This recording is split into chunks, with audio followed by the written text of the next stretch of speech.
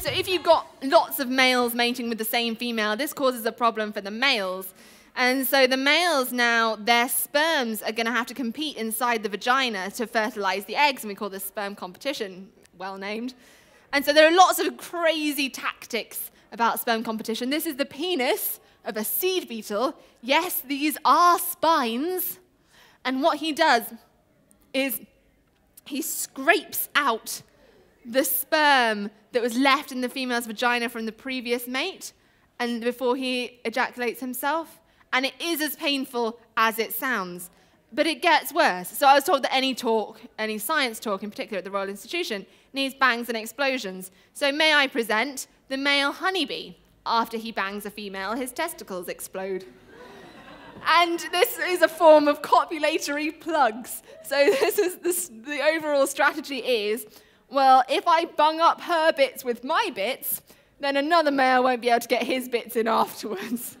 Loads of animals do this. But perhaps the scariest of all are my fruit flies, my Drosophila melanogaster.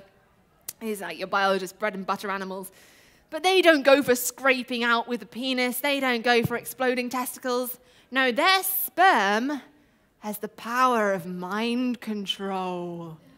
I'm not kidding. There's a protein in, this, in the fly ejaculate called sex peptide, and it alters the female's mind so that she's going to uh, not mate as fast afterwards as she would before. So she's less likely to mate after she's absorbed this protein.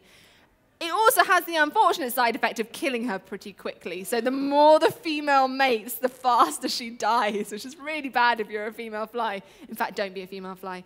Um, and we're coming to the end of the talk, but everyone always asks me, but what about humans?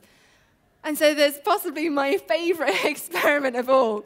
Some researcher did, not only did, but got the funding to bring in a load of men to the lab and get them to wank off over pornography. And the pornography either contained threesomes of two men and one woman, i.e., this is a scenario where the males perceive they're going to be competing with another male, so sperm competition, or threesomes with two women and one man, so there was no threat and no sperm competition. And then the scientists studied the ejaculate afterwards. Of course they did and they found that in the sperm competition, the two men, one woman, the men not only produced more sperm, but the sperm was of better quality.